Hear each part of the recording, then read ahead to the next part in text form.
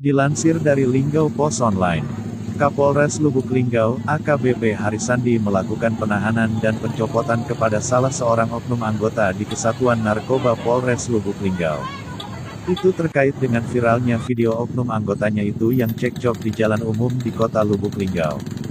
Diduga anggota tersebut saat di dalam mobil sedang dengan wanita idaman lain, atau pelakor.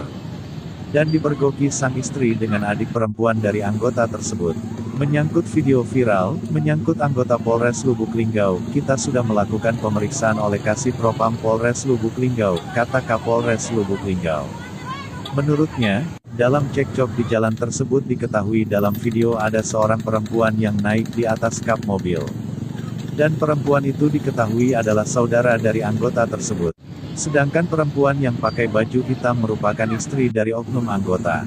Anggota ini bersama perempuan lain, sehingga takut dan pingin kabur, akhirnya dihadang sama istri maupun adik anggota.